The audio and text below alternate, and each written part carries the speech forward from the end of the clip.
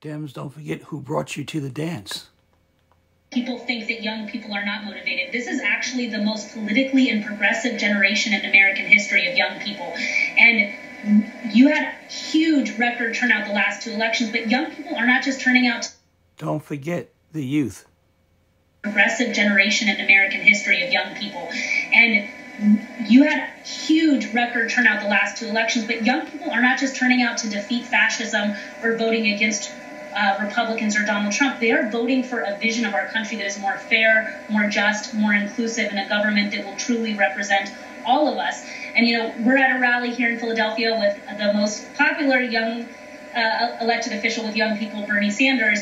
And our message to young people, of course, is also that record breaking youth voter turnout gets you historic gun safety legislation. It gets you student debt cancellation. It gets you the largest investment by any country on the planet to tackle the climate crisis. And it's getting us long overdue marijuana reform.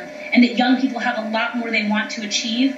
And so we're not finished, we're just getting started. And we have to make sure we all come out and vote this election.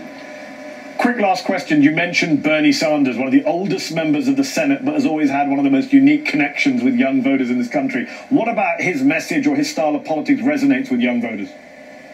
You know, Bernie is authentic. He has also centered bold progressive change.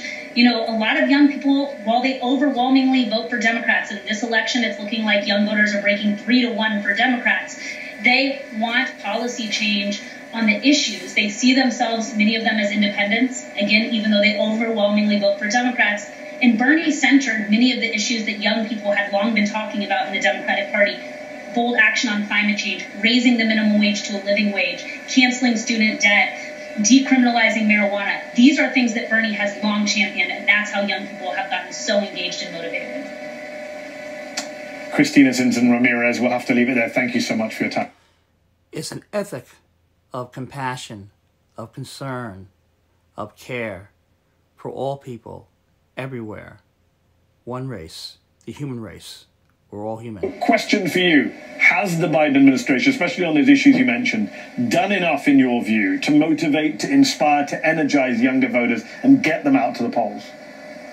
You know, I think you talked at the top of the hour about how people think that young people are not motivated. This is actually the most politically and progressive generation in American history of young people. And you had huge record turnout the last two elections, but young people are not just turning out to defeat fascism or voting against uh, Republicans. Thank you, young people, and continually be engaged. Today is Sunday, November 6, 2022. God bless you all. God